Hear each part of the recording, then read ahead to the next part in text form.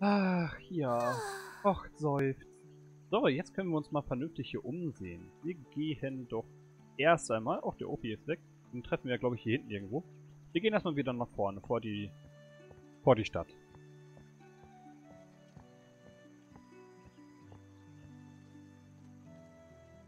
Kopf einziehen, genau. Oh, hallo. Stadtwache mit Blatt. Willkommen im Mauswald, Neuankömmling. Dein Freund mit den roten Augen kam mir irgendwie bekannt vor. Hier ein gut gemeinter Rat von mir für euch. Bleibt lieber in der Stadt. Die Krähen kreisen heute niedrig über dem Wald. Danke. Bewaffnete Stadtwache. Hey, wer bist du? Ich habe dich hier noch nie gesehen. Quatsch, der ist hier doch vorhin schon durchgelaufen. Ja? Zusammen mit einem Hasen mit stechenden roten Augen. Also an den erinnere ich mich. Ich bin Jerry Haselnuss, Magier in Ausbildung. Magier, deinem Freund mit den roten Augen hätte ich das ja noch abgenommen. Bäh. Wieso muss ich eigentlich hier draußen Wache stehen, während du Spaß haben darfst? Ach ja, benachteiligtes kleines Spitzmäuschen. Kanonier? Hallo? Wie? Was?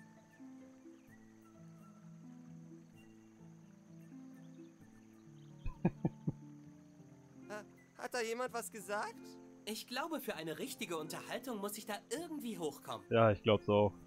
Oh, hier unten ist ein großer Wels. Na? Da tümpelt und dümpelt ein dicker Fisch am Grund des Baches vor sich hin. Ich glaube, der wartet, dass ihm jemand die Schleuse aufmacht. Mach doch mal. Schleuse. Hm. Hm. Ähm, Schleuse? Hm. Ja, gut, dann halt nicht. Aus dem Boden ragende Statue. Noch eine Statue. Sieht aus, als ob diese Steinäuglein schon viel gesehen haben. Ah, Ich finde schön, dass man hier alles Weg durchs Gras. Alles angucken und alles alles, alles äh, quasi begrapschen kann. Was? Eine ganze Stadt passt unter den Baum. Wer sich da oben in der Krone des Baumes einen Kobel baut, hat sicher einen super Ausblick. Ich frag mich, ob Eichhörnchen und Mäuse bei uns auch so wohnen. Bin ich bei uns im Wald zu Hause etwa immer nur falsch abgebogen? Scheint so. So, Weg durchs Gras. Wir könnten theoretisch noch weiter raus. Das ist aber im Moment noch gar nicht unsere Aufgabe. Wir gehen erstmal wieder rein. Und gehen nach... Oh, ja, hör doch mal auf zu seufzen. Guten Tag. Jetzt können wir dich nämlich mal vernünftig Hallo? ansprechen. Warum stehst du denn hier oben? Ich bin zum Kanonendienst eingeteilt worden. Wir hatten hier ein großes Krähenproblem. Naja, haben. Wir mussten sogar evakuieren. Das klingt schrecklich. Oh ja. Also, wenn ich so ein garstiges Tier sehe, dann... Kaboom! Meistens fliegen sie aus Nordwesten heran. Ich, ich muss immer die Augen offen halten, auch bei Nacht. Ja, besser ist das. Könnte ein bisschen schwierig werden, wenn das nur eine Person macht. Wie wär's mit Schichtbetrieb? Eine Statue.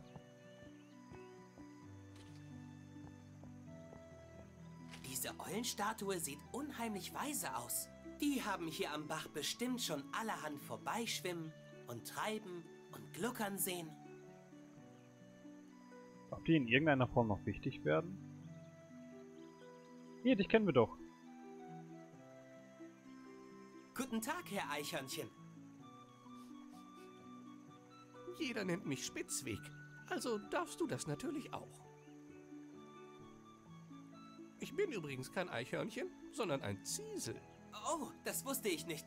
So bepackt sehen Sie aus, als ob Sie später noch viel vorhätten. Ich bin ein Abenteurer und Wissenschaftler und meine neueste Forschungsreise soll über die sieben Weltmeere gehen, um ihre Unterschiede in Flora und Fauna zu dokumentieren. Aber viel vor. Sieh dir nur all die Karten in meinem Rucksack an. Die Schönheit der Natur manifestiert sich in ihrer subtilsten, entzückendsten Weise in diesen liebevollen Niederschriften. Ja, es ist schon ein enormes Abenteuer. Und es beginnt hier im bescheidenen, heimatlichen Kaltwasserbach. Das klingt ja spannend. Aber wieso machen Sie sich dann nicht auf den Weg? So viel mehr braucht doch sicher unheimlich viel Zeit, um komplett angeguckt zu werden. Wem sagst du das? Ich wollte das erste Wegstück hier mit einem traditionellen Mauswalder Blattfloß zurücklegen. Ich habe es gestern bei den Igelbrüdern in Auftrag gegeben. Sie sind die talentiertesten und verlässlichsten Handwerker hier im Wald. Sie wollten das Floß einfach den Kaltwasserbach herunter zu mir treiben lassen. Aber ich stehe schon recht lange hier. Sag mal, gehst du zufällig zum Kürbisfeld am Stadtrand? Wenn du bei der Werkstatt der Igelbrüder nach meinem Boot fragen könntest, würdest du mir einen riesigen Gefallen tun. Na klar. Kein Problem, ich kümmere mich darum. Siehste. Zack, schon eine neue Aufgabe. Turm. Hm, Mehr hast du dazu nicht zu sagen. Orte. fest verschlossen. Ich war sehr verdrossen, doch. Fest verschlossen. Ich reite auf großen Zossen, doch. Es ist. Fest verschlossen. Ja. Klassiker, ne? Haben wir hier sonst noch irgendetwas? Da kommen wir anscheinend dann erstmal nicht hin. Da ist noch eine Eulenstatue. Wer ist da? Oh, da sitzt nur noch so eine Eulenstatue. Mein Fehler. So ein Trottel. Nein, nein, nein. Alles gut. Kanonier... Ka Ach, die Kanone kann man natürlich anpassen. Hm. Eine Kanone, ganz wie aus einem Piratenfilm. Arr! Ich bin Jerry Haselbart, der Piratenmagier. Pfoten weg! Niemand darf die Kanone anfassen. Nicht einmal ich. Besonders nicht ich. Außer im Notfall. Die Kanone muss für den nächsten Krähenangriff bereit sein. Stell dir nur vor, es fliegt wieder so ein Tier in das Rathaus. Meistens fliegen sie aus Nordwesten heran. Ich, ich muss immer die Augen offen halten, auch bei Nacht. Dieses, dieses subtile darauf hinweisen, dass der irgendwann einpennt. Pfoten weg! Die Kanone muss für den... Stell. Mein, ich auch... Ja gut, dann halt das nicht. Sonst noch irgendwas vergessen. Die hatten wir schon. Schleuse kann dann nur wieder hm sein. Dann gehen wir mal zurück. Und gehen mal im Uhrzeigersinn erstmal ins Café. Ja.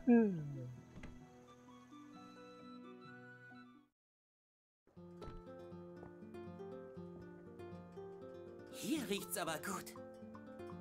Aus. Irgendwie auch nach Kräuterbonbon. Ach Na du, schon wieder. Schlüssel. Okay. Schnitt. Gucken wir uns doch erstmal so ein bisschen um. Was haben wir hier denn? Pass mit gesunden Küchlein. Irgendwas stimmt hier nicht. Ein ganzes Fass voll mit kleinen Kuchen. Und niemand da, der sie isst. Ja, das funktioniert so nicht. Seltsam, was? Diese Oh. Napfküchlein sind Ullis Lieblingskuchen. Mit Kräutern aus seiner Apotheke. Probier mal. Komm schon. Nur mal dran knabbern. Tut mir leid, aber ich möchte lieber nicht Labormaus für die Napfküchlein sein. Labormaus? Oh, ich glaube, Ist das ein Wissenschaftler dort, wo du herkommst? Äh, nein, das sind... äh, Äh, nicht so wichtig. ich wollte gerade sagen. Halt bloß, sowas sollte man hier vielleicht nicht unbedingt erwähnen. Äh, Beschriebenes Blatt. Da steht Kaffee, kostenlos. Aber bitte, bitte probieren Sie auch unsere Napfkuchen. Abkuchen. Anja, das sprechen wir gleich an. Kaffeemaschine. Einmal heißer Kaffee. Hm, das klappt so nicht. Hier. Ciao, Anja. Hm, Glocke. Aus mit Rucksack. Nimmt immer wieder den Schlüssel, schließt auf, geht raus, kommt irgendwann wieder, schließt wieder ab. Und seufzt dann. Hm. Äh, Baldrian-Tropfen. Ulrichs Schlummertrunk. Baldrian-Tropfen. Da steht, ein Fläschchen kostet einen Laubtaler. Hm, ich habe keinen Laubtaler. Nicht einen einzigen. Braucht Geld. Und die Leute alle alle betäuben. Kräuterapotheke. Schicker Pilz. Hm, so wie es da riecht, sind in den Töpfen bestimmt getrocknete Gewürze und Kräuter drin. Noch eine Glocke. Da Käserad. hängt ein Zettel. Nanu? Dieses Käserad hat einer unserer Gäste liegen gelassen. Da es seit drei Jahren vergeblich auf Abholung wartet, dürfen sich nun alle Gäste kostenlos bedienen. Liebste Grüße, Anja. Kostenlos? Super!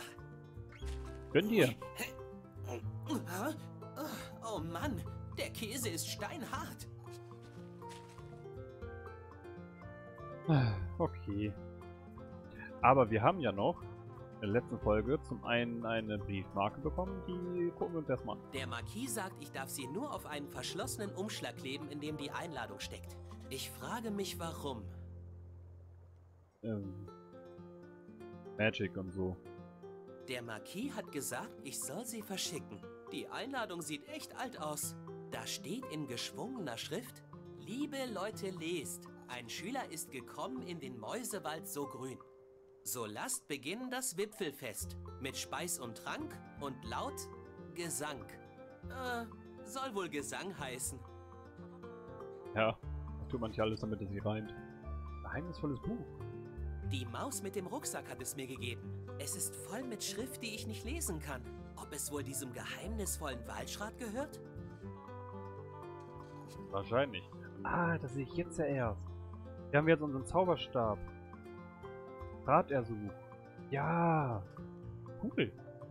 Schön gemacht. Äh, Müll. Leer. Macht ja nichts. Hintertür. Na, gehen wir aber noch nicht hin. Kräuterapotheke, Kräuterapotheke, riesiges Pflaster.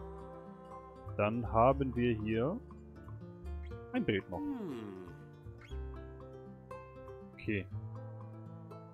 Maulwurf? Hallo. Guten Tag, mein Freund. Moment. Ihre Stimme kenne ich doch. Ludwig Gräber der Name. Wellesumpf 103.5. Äh, 5. Maulwurf am Morgen. Maulwurf am Mittag. Oh. Und Maulwurf Das am Tutorial Ma- Maulwurf. Stimmt. Ich habe sie schon mal im Radio gehört. Ja, leider ist der Sumpfweg immer noch überschwemmt. Dabei würde ich so gerne wieder auf Sendung gehen. Ich sende nämlich aus dem Sumpf, seit die Krähen meinen alten Sender zerpflückt haben. Sie sind also Radiomoderator? Ja, leider ist der Sumpfweg immer noch überschwemmt. Dabei würde ich so gerne wieder auf Sendung gehen. Ich sende nämlich aus dem Sumpf, seit die Krähen meinen alten Sender zerpflückt haben. Welle Sumpf 103.5. Äh, 5. Maulwurf am Morgen. Maulwurf am Mittag. Und Maulwurf am Abend. 24 Stunden Job anscheinend. Gibt es Hoffnung, dass Sie bald wieder auf Sendung gehen? Mit all der Nässe, die im Sumpf in meinen Sender zieht? Niemals. Jemand könnte sich über meine feuchte Aussprache beschweren. Was? Aber Ihre Fans? Über meine wässrigen Witze. Wie werden Sie den Fans erklären, dass Sie aufhören? Mit feuchten Augen. Weil alles überflutet ist, nicht wahr? Nein, weil es wirklich traurig ist. Oh, Sie können doch nicht einfach aufgeben. Mach ich auch nicht. Knack dir ne Nusshörnchen, wie die Jugend heute sagt. Nein. Um mich dazu zu bringen, meinen Sendebetrieb einzustellen, müsste man mir Arme, Beine, Mund und Bauchnabel zukleben. Okay. Ich wollte auch immer mal zum Radio. Das ist die richtige Einstellung. Wenn du mit mir zusammen moderieren willst, solltest du pfiffig sein. Pfiffig? Ja, versuch einfach mal mir eine Vorlage zu geben, die ich gekonnt kontern kann. Äh, Äh, Ja? ich, äh, was soll ich denn sagen? Was Lustiges. Ah, okay. also, warum überquert das Huhn die Straße?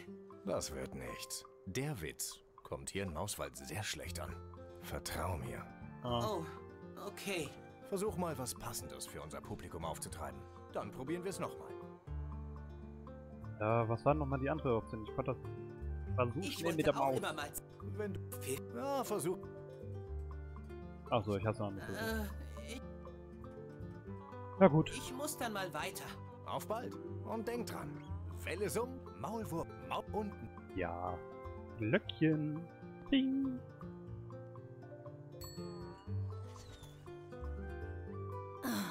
Vertrocknetes Teegebäck noch eins. Hallo? Äh. Sekunde. Ja. Mach mal schneller.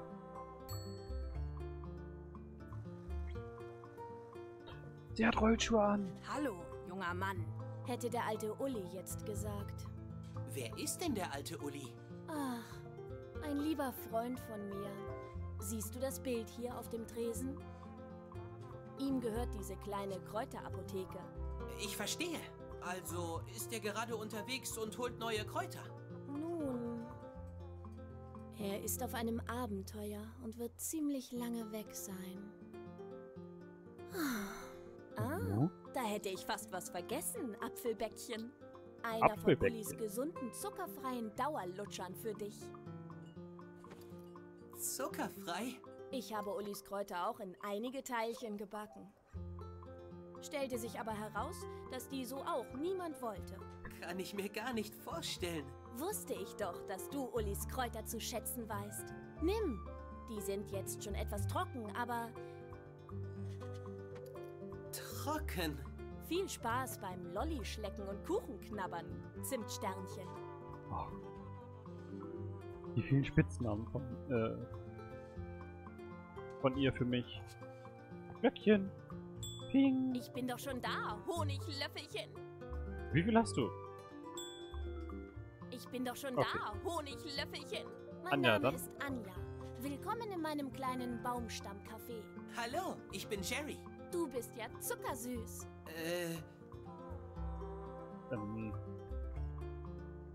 Ja, das klang wirklich gefährlich, das das Geräusch. Geräusch eben, das klang ja gefährlich.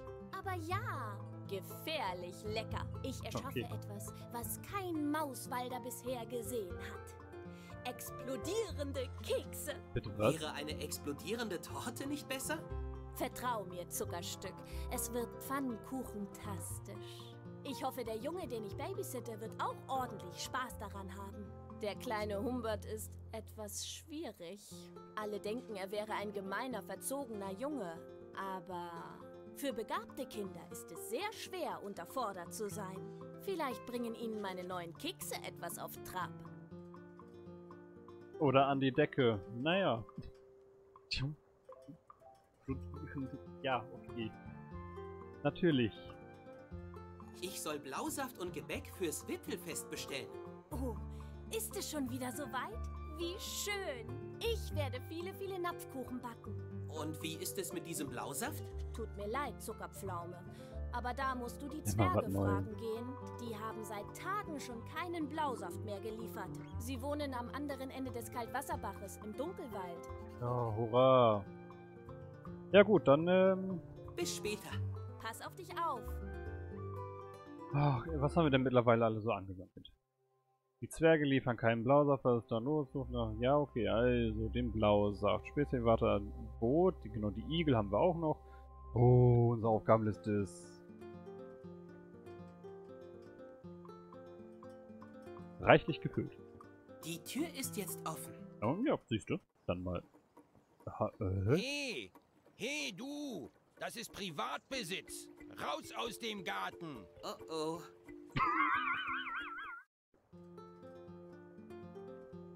Das wusste ich ja gar nicht. Das wusste ich ja gar nicht. Na komm, einmal noch. Die Tür ist jetzt offen. Hey, hey du, das ist Privatbesitz. Raus aus dem Garten. Oh oh. Ach, schön. Ach, können wir den Schlüssel mitnehmen? Den Schlüssel lasse ich besser hängen. Ich will Magier werden und kein Schlüsseldieb.